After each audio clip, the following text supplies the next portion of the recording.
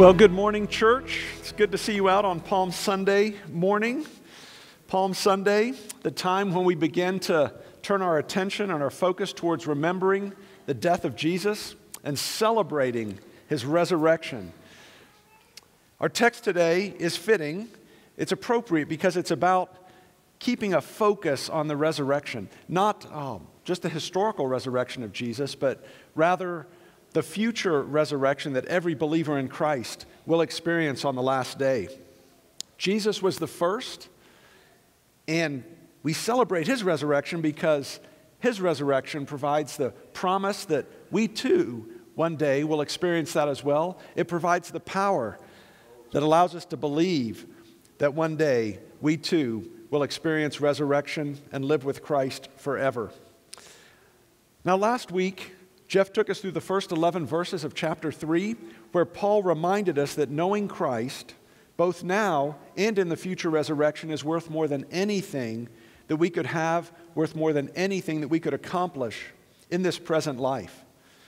In Philippians 3, verses 10 and 11, he said this He said, I count all things to be loss in view of the surpassing value of knowing Christ Jesus my Lord, for whom I have suffered the loss of all things and count them but rubbish in order that I may gain Christ, that I may know him and the power of his resurrection and the fellowship of his sufferings, being conformed to his death, in order that I may attain to the resurrection of the dead. You see, nothing we do, nothing we can accomplish on our own, nothing that we would put down on our life resume can compare to the riches, the value, the blessing of knowing Jesus Christ as our Lord. Now, as a point of clarification, in today's passage, when Paul speaks about knowing Christ, he's not talking about becoming a Christian. He's writing as someone who already knows the Lord, who is a believer, but someone who wants a deeper, more meaningful relationship with Christ. He's saying, I know you, Lord, but I want to really know you. I want to be so identified with you. I want my life to be about knowing you. Paul wants to know the joy and power of sharing the gospel of the kingdom of God the same way Jesus did. Paul wants to experience God's power at work in and through him. Paul even wants to suffer the same way that Jesus suffered. And he's also looking forward to the day when his earthly life will pass away and he will get to experience, along with every other believer in Christ, that glorious victory of being physically resurrected to new life in heaven with Christ forever. That's what Paul means when he speaks about knowing Christ. His focus, the context of our passage today, is one of looking forward, looking toward the reality of our own future resurrection and all that that means for us, not only in the future, but today as well. Because what we hope for, what we long for in the future, it changes the way we live our lives today. So, Paul says that knowing Christ is the ultimate prize, pursuing Him is the ultimate endeavor.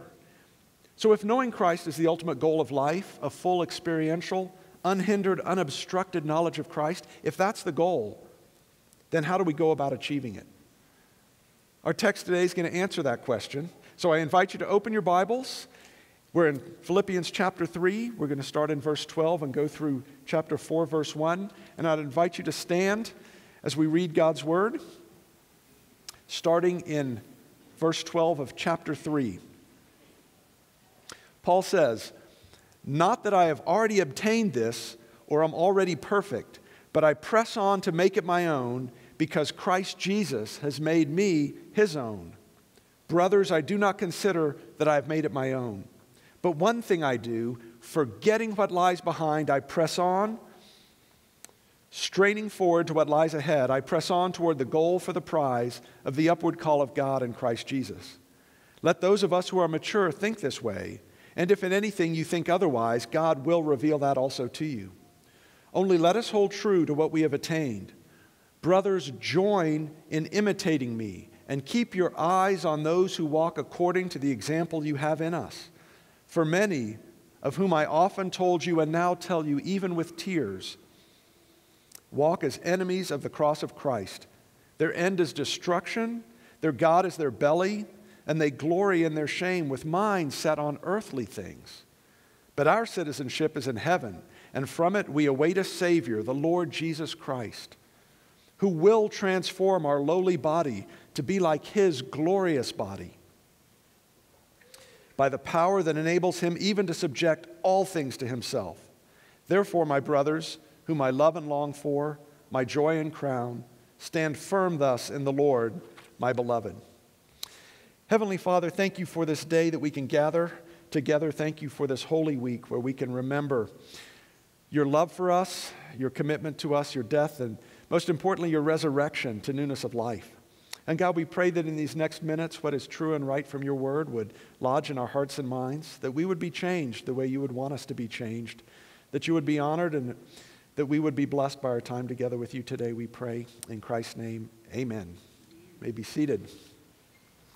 So, if pursuing and knowing Christ is the ultimate endeavor and ultimate goal of life, if our citizenship is indeed in heaven and we want to arrive home joyful, intact, and unashamed, if we hope to get to the end of this life with a rich and growing knowledge of Christ, what does it take? Well, in Paul's letter to the Philippians and in God's word to us today, we're shown two indispensable things, two things necessary to enjoy a growing knowledge of God. First, we need the right attitude. And then we need to do the right things, the right actions. So that's what we're going to look at this morning the proper attitude and the proper actions for a life lived in pursuit of the knowledge of God. Now, this description that Paul gives of his own attitude, it's not just a biographical tidbit, it's a part of God's holy word because it's an attitude that we too are to have. Let's look at verse 15. He says, Let those of us who are mature think this way. Your translation might say, Let us have the same attitude. But let those of us who are mature think this way, and if in anything you think otherwise, God will reveal that also to you. What he's telling us is there's really only one attitude, one way of thinking, one perspective that we must have if we want to be mature in our relationship with God.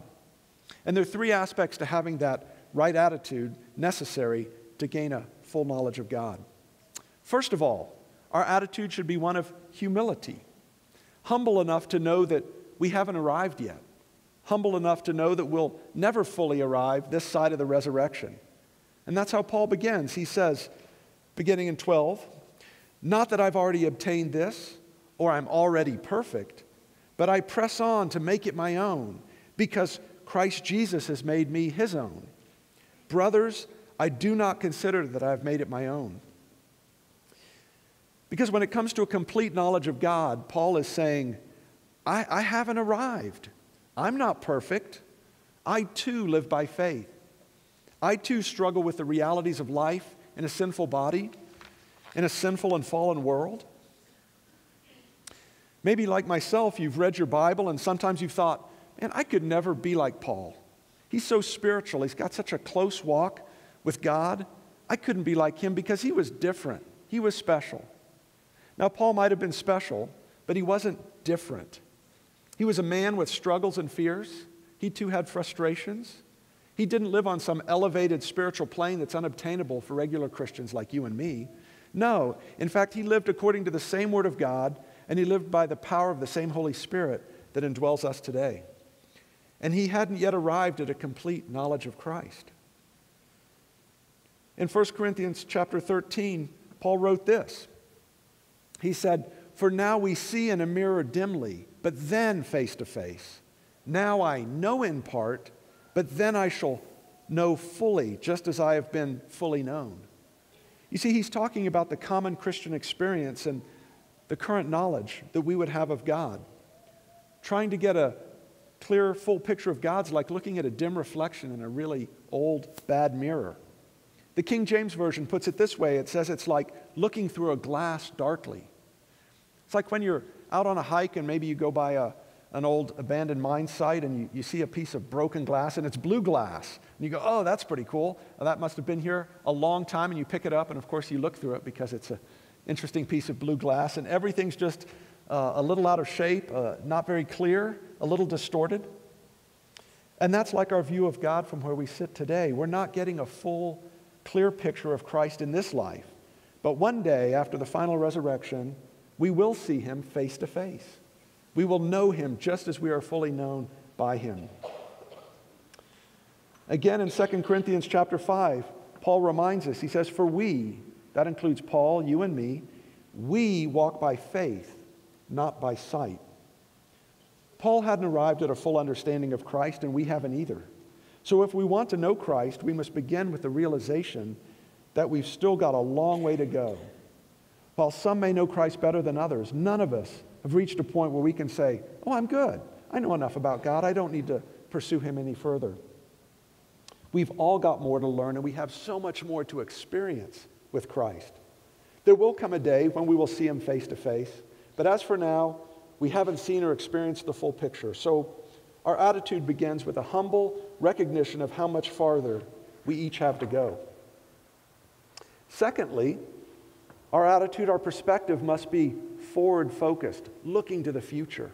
An attitude that forgets what's behind us and looks forward to what's ahead. Paul continues, he says, But one thing I do, forgetting what lies behind and straining forward to what lies ahead. It's the one thing he does. He forgets what lies behind and he presses on. And our lives should be the same. Now, Paul's not asking us to forget everything that happened yesterday. He's not saying that the past is meaningless. And he's certainly not telling us to forget all the good things that God has done in the past. The Bible often encourages us to remember consistently and to celebrate God's mighty and gracious deeds of the past. But from the context of this whole chapter, the obvious things that lie behind for Paul were the things from his pre Christian life which he thought would gain him favor with God. The things that ultimately were rubbish compared to knowing Christ, his earthly religious resume, which we talked about last week. The things we are to forget are also the things that we thought earned us points with God, things that tempted us to consider that maybe we've finally arrived already with God. Now, these things, in and of themselves, they may have been, and they probably were, really good things. But instead of clinging to what we've done in the past as our calling card for our knowledge of Jesus today, we should put our focus on what God is doing in and through us now. If I'm to grow in my relationship with Christ, if my goal is to know Him more, then I can't coast today relying on the things that I did yesterday. We've all, if we've walked with Christ, we've done some good things, wonderful things in pursuit of Christ. We've learned and we've grown. And there's been plenty in the past to be excited about, but yesterday, it's behind us. And today, we must press on to something that is new and something fresh in our walk with God. You know, I, I believe it's a common temptation to think that maybe we've, we've already done enough, we've already paid our dues for getting to know Jesus. Maybe rather than looking forward, you're tempted to look back. I'm personally pretty familiar with that temptation. I struggle with that sometimes. Now, again, we should celebrate the good things God has done in and through us, but our faithful obedience yesterday doesn't excuse us from faithful obedience today. Remember that first attitude? We haven't arrived, but forgetting what lies behind and straining forward to what is ahead, that means that what you choose to do in pursuit of Christ today is of much more immediate concern than anything you did yesterday. Now, there's another side of this admonition to forget what lies behind. He's saying that for the Christian, my life today, my standing with God today, isn't determined by what happened yesterday. And that's an important principle for a fruitful and faithful Christian life, especially when it concerns our own sin or the negative and harmful things that we might have experienced because of the sin of others. God's desire to love us today and our ability to pursue and connect with God today is not determined by what happened yesterday. I believe we're all too familiar with the knowledge that bad things from our past have a horrible way of creeping into and trying to destroy our present. It might be something bad that you did, it might be something bad that was done to you. And the more you remember that, the more you dwell on events from your past, the more those bad memories try to define and try to hinder you from fully experiencing God today. Paul himself had plenty of bad things that could have crippled his pursuit of God. Paul used to persecute Christians. There was a time when he was happy to see Christians put to death. I'm sure that these are the things also that Paul was willing to forget because they were a hindrance to him moving forward in pursuit of God. Now, when I was in college at the University of Texas, I was involved in the ministry of Campus Crusade for Christ. Now it's called Cru. And um, one of the, the Cru staff was a guy named Hank. And every time that he spoke, taught a Bible study, taught a lesson, he would end the same way. Now, he was talking to college students at a huge secular campus where uh, the opportunities for making bad moral choices were in, just numerous. So he would always end this way with this phrase he said, If you only remember one thing from tonight, remember this God loves you. You can never do anything so bad that God can't forgive you. And it's never too late to start doing the right thing. He said, If you remember this one thing, and actually it's three things, right? God loves you. You can never do anything so bad that God can't forgive you. And it's never too late to do the right thing. And that's true. And it's something that we should all remember forgetting what lies behind and straining forward to what God has for me in the future. No matter what you've done, no matter what's been done to you, it's never too late to turn to Jesus and receive his love and forgiveness. And indeed, it's God's grace and it's his forgiveness of our sin that allows us to forget the things that lie behind. So, if we want to pursue Christ, if we want to gain a, a deeper knowledge of, of God, the right attitude, it first begins with humility. Secondly, it has a forward focus that forgets what's behind and looks forward to what's ahead. But thirdly, we have to have an attitude of perseverance in our pursuit of the knowledge of Christ. Forgetting what lies behind and straining forward to what lies ahead, I press on toward the goal for the prize of the upward call of God in Christ Jesus. Now, the language from this sentence, it's straight out of the sports pages, the language of competition, the language of the games. The image here is of athletic endeavor and achievement.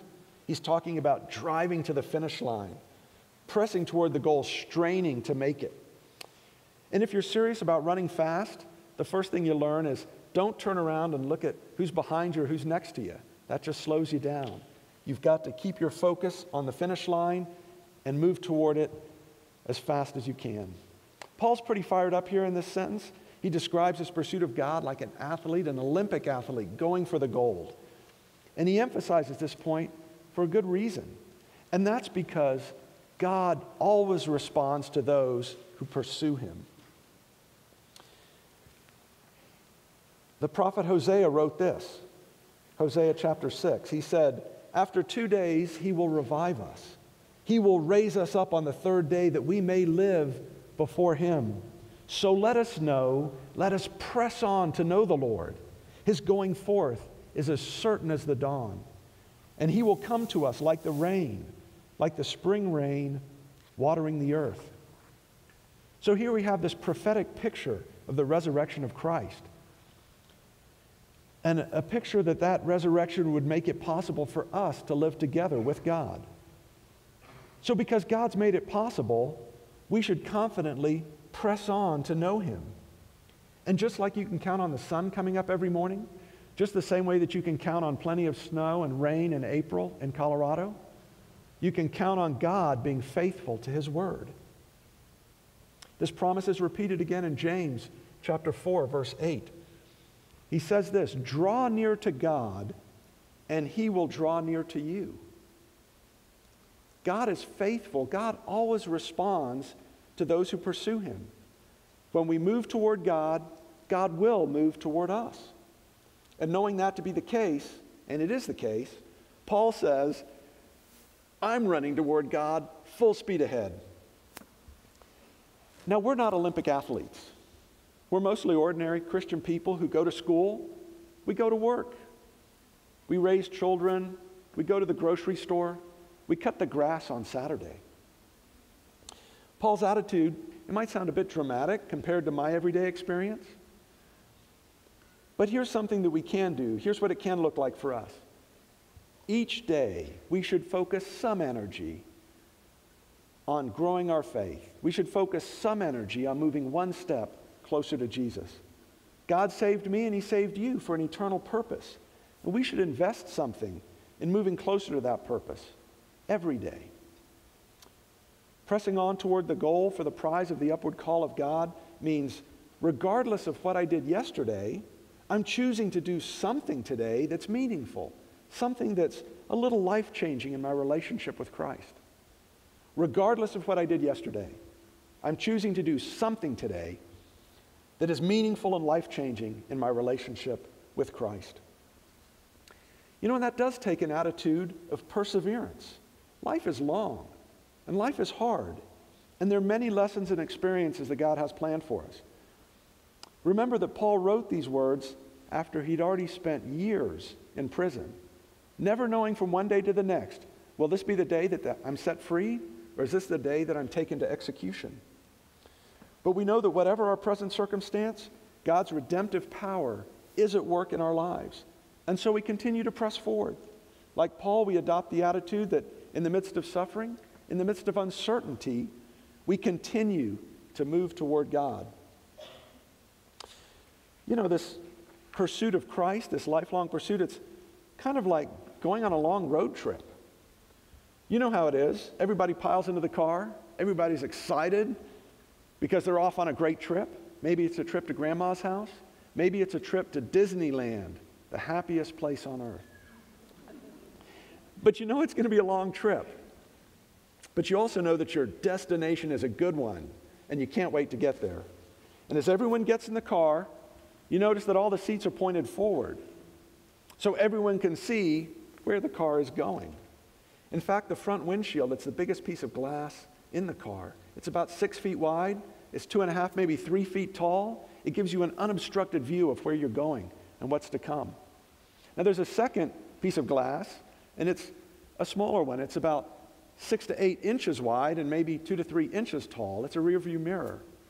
And it's useful for glancing back. Every now and again, you take a glance back to where you've been. But if your destination is a great one, where you've been is meaningless compared to where you're going. And your kids know this because they're consumed with the prospect of getting to the destination. Everybody's asking, how much longer? How much farther till we get there? Nobody's asking, hey, how far have we come? Where did we come from? How long till we get there? And you know, nothing puts a downer on the trip more than somebody saying, couldn't we just spend, instead the whole vacation, couldn't we go back and spend it on the slide in the little jungle gym at Chick fil A where we had lunch, rather than pressing on towards Disneyland, the happiest place on earth? And at times that road trip's going to feel long, really long. But the goal is worth it, so you continue to press on, knowing that you haven't arrived until you've actually really arrived. So, a living and experiential knowledge of Christ, that's the greatest achievement in life. And it starts with the right attitude an attitude that says, Well, I'm not there yet, but forgetting what lies behind, I'm focused and I'm determined to keep driving toward a richer, deeper knowledge of Christ. So, Paul's shown us the right attitude for growing in the knowledge of Christ. And now he's going to show us the right methodology, the right actions. Now that my attitude is right, what am I supposed to do? Well, Paul says if you want to experience the fullness of walking with Christ, Paul says, do what I do. In verse 13, he says, Brothers, join in imitating me and keep your eyes on those who walk according to the example you have in us. Because there is an example, there's a pattern, there's a rhythm, there's a path to follow when it comes to the Christian life. As Jeff has often said, Jesus isn't out to make you a deal. Jesus is the deal. You see, we don't get to set our own rules in the Christian life. We don't have the freedom to make it up as we go along.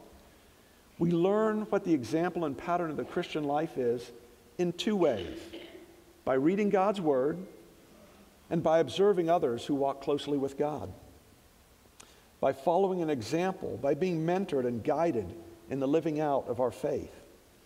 Because the church is a community, and Paul is encouraging each of us to be in relationship with someone who's been in the faith longer, someone who may have a stronger faith, someone after whom we can pattern our own lives. And this is a consistent theme in the Bible. Paul's life was always a personal demonstration how to faithfully follow Christ. And he wasn't shy about telling others to follow him. In his letter to the Philippians in chapter 4, he says again, The things you have learned and received and heard and seen in me, practice these things, and the God of peace shall be with you. And in his letter to the church at Corinth, he again says the same thing two times. In 1 Corinthians chapter 4, he says, I exhort you, therefore, be imitators of me.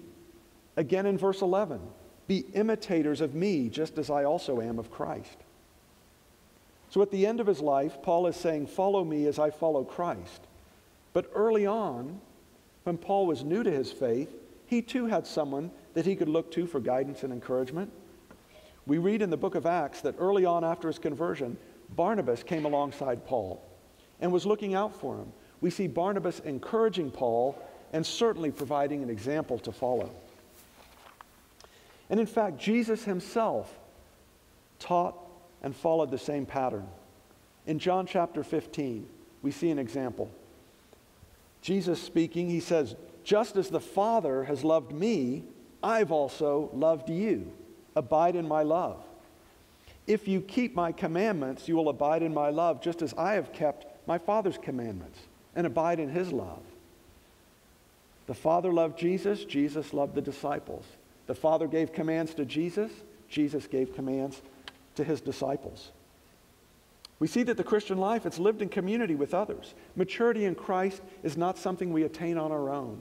It's not something we can do apart from other people.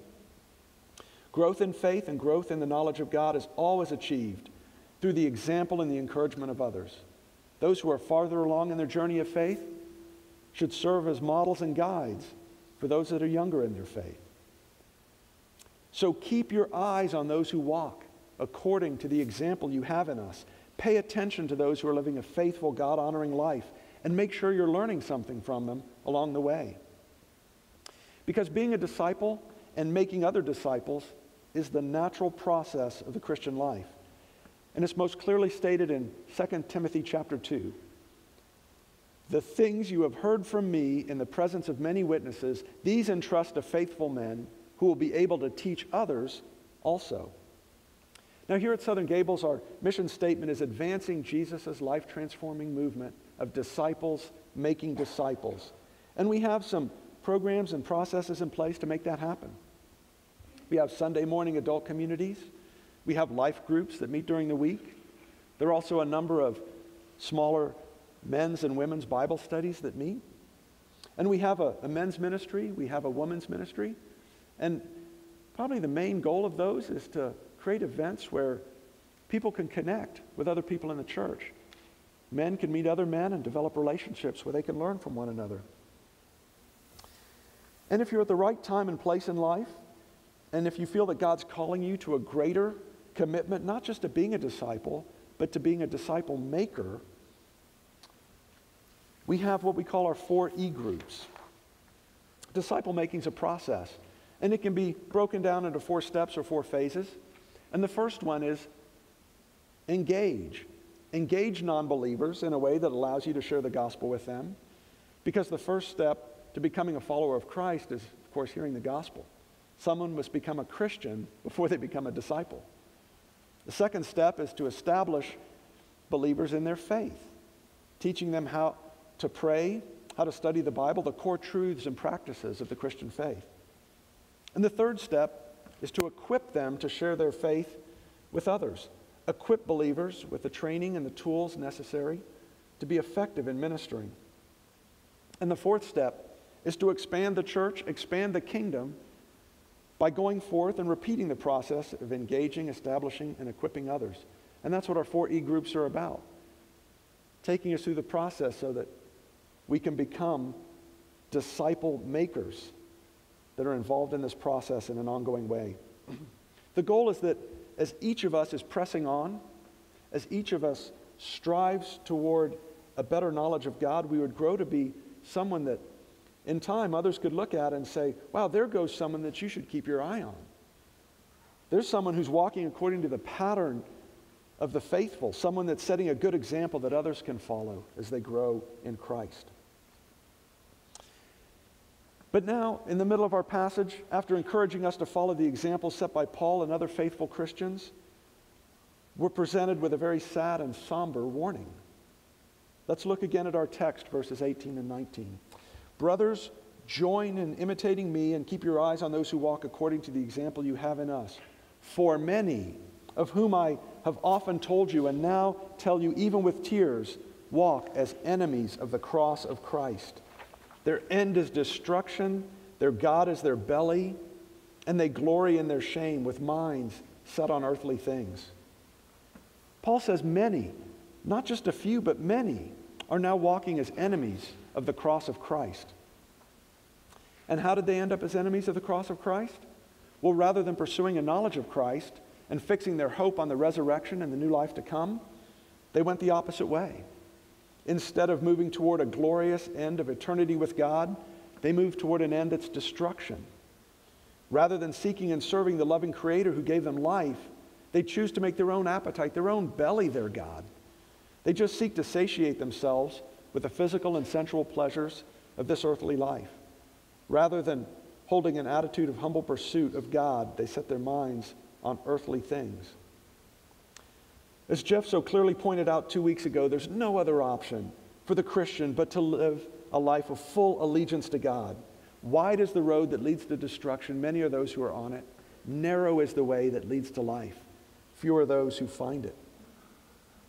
In these verses, Paul's reminding us that there's a sad end for those who would pursue limited, man made, temporal pleasures above the eternal, unlimited promise of God's love and blessing. And it's a necessary reminder of what happens when we take our eyes off the prize of Christ and when we seek an earthly substitute. Now, when I first began to intentionally pursue becoming a disciple of Christ, when I was a college student, the man who mentored and trained me was fond of saying, You have to remember the horror stories. And by that, he meant that we must, from time to time, remember the stories of those who once walked in faith, but then set their minds on earthly things. He said, We can't be afraid to talk about the guy who chose to have an affair, then divorced his wife and left his children and the Lord so that he could shack up with his secretary. And we can't be afraid to talk about our friend who, in pursuit of more money and more promotions at work and more accolades, kept compromising just a little bit here and a little bit there until one day he was so sold out, he wouldn't even acknowledge the existence of God any longer. And those kind of choices they always leave a wide wake of deep destruction, not only for the main perpetrator, but for all those close to them as well. That's why we need to remember them. Because sin has a way of creeping in, it has a way of trying to deceive us into thinking that to turn away from God, it just won't be that bad. Sin wants to deceive us into thinking that going back to where we once were is better than pressing forward to where Christ wants to take us. So we must, from time to time, take a sober look at how lives are destroyed when people turn away from pursuit of God to satisfy their own sinful desires. Now, there are many tragic and sad stories. We all know someone who fits the description of these verses. And they should be a reminder to us of what's at stake. Now, we mentioned that the church is a community, and growing in faith, it can't be done alone. We have to take care of one another. In Hebrews chapter 3, it says this Take care, brethren, lest there should be in any one of you an evil, unbelieving heart in falling away from the living God. But encourage one another day after day, as long as it's still called today, lest any one of you be hardened by the deceitfulness of sin. Take care lest there should be in any one of you, in any one of us, an evil, unbelieving heart. We must encourage one another, not yesterday, but today.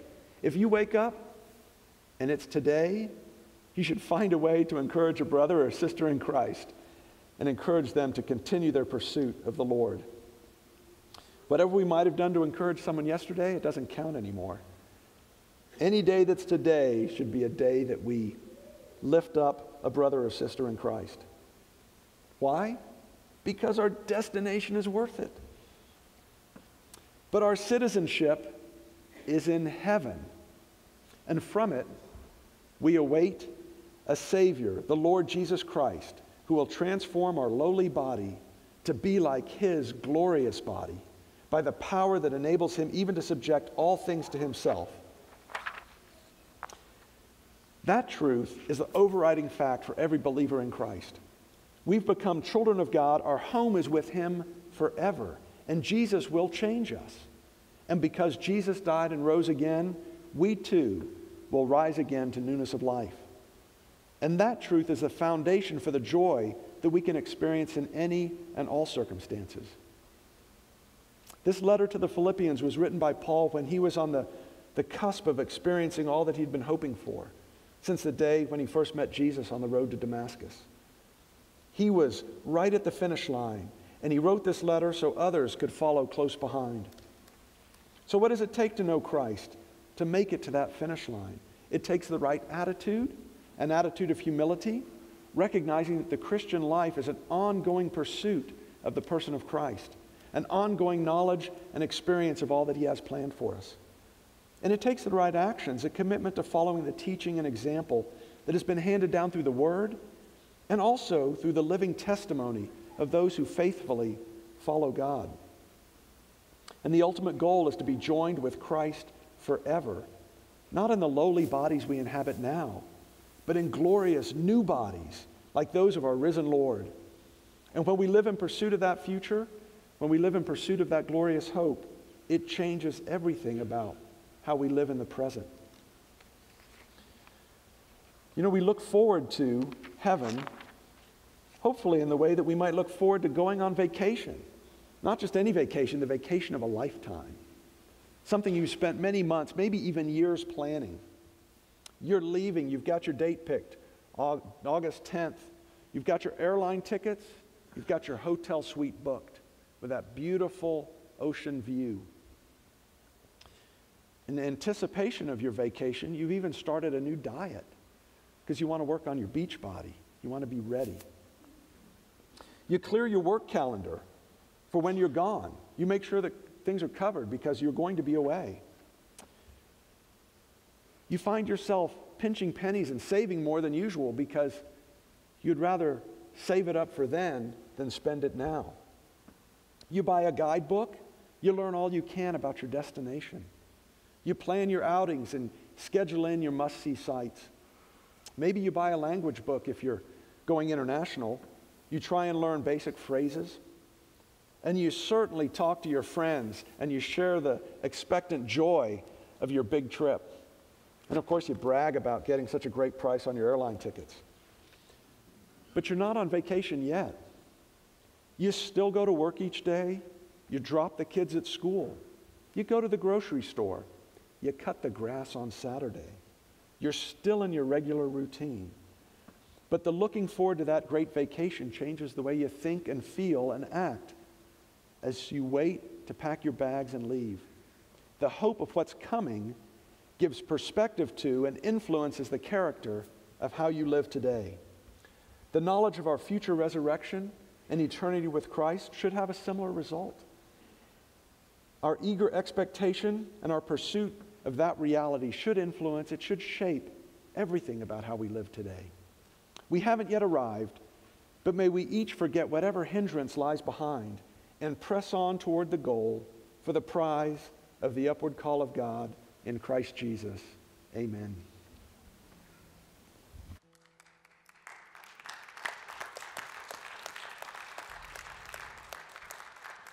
Thank you so much, John.